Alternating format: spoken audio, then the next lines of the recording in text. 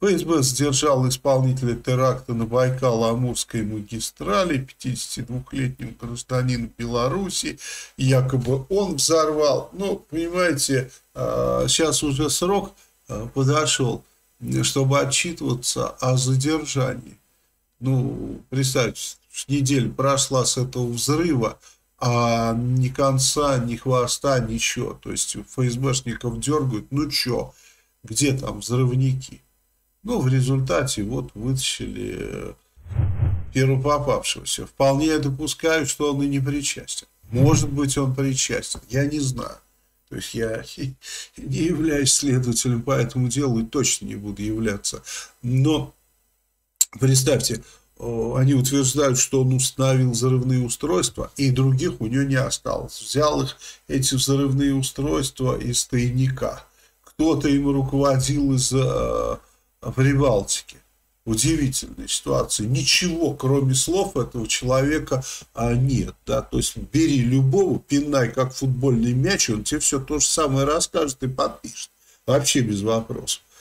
Поэтому он это взорвал, не он, я не знаю. Вообще не знаю. Но э, и то, что э, можно э, так сфабриковать и легко, у меня никаких сомнений не вызывает. То есть все доказательства, это слова этого человека и больше ничего. Э, также, значит, э, ранее заявляли там в спецслужбе ФСБ, что задержали в Калининградской области молодого человека, подозреваемого в организации диверсий в 15 российских регионах по заданию Киева за вознаграждение. Ну, то есть, видите, кого-то дернули в Калининградской области, помните, это старая история, да? Он на себя уже берет 15 как минимум эпизодов, этот человек, 15.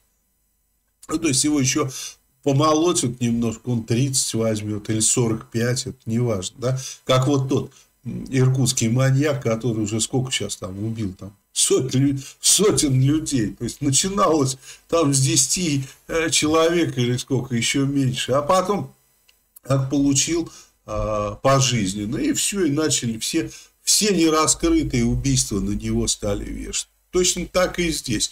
Сейчас вот тех, кого будут брать, да, на них будут вешать все, что хочешь. Вообще все вот э, те взрывы, там, поджоги, которые были произведены партизанами. На жители Кузбасса возбудили дело об госизмене участия в террористической организации после переписки с чат-ботом «Хочу жить». 36-летний житель Кемерово Андрей К. оставил свои личные данные в час-боте «Хочу жить», после чего получил бланк анкеты кандидата на вступление в Легион Свободы России. Затем он якобы отправил некому участнику Легиона заполненную анкету на вступление в Легион и письменное согласие на сотрудничество со спецслужбами Украины. Далее, по версии ФСБ, Андрей купил камуфляжную форму балаклаву, сим-карту и билеты до Беларуси. Мужчин задержали 8 сентября в аэропорту Кемерово. Да, ну, шьют участие в террористической организации. Надо быть полным придурком, чтобы это делать. Во-первых, нет никакого легиона свободной России, никуда того, никуда там ни, никто никого не берет. А если кто-то вам предлагает туда вступить, то это ФСБшники стопроцентные. Это, блядь, безумие. Я вообще не понимаю, что за идиоты. Почему они попадаются вот на эту херню. Я говорю, многим объясняешь, они ни хера не не вкуривают, не хотят и все. Вот они хотят этот, блядь, легион, и в этот легион хотят поступить. Ну иди поступай. Что вот этому жителю Кемерово не партизанилось в Кемерово? Он, блядь, пол Кемерово мог, мог разнести с таким упорством, как он в тюрьму лез. Росфинмониторинг объявил Навального причастным к терроризму.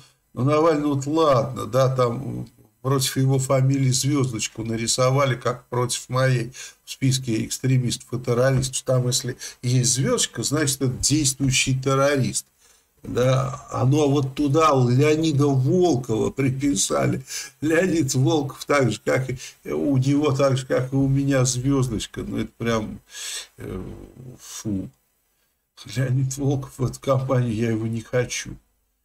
Мне сильно не нравится.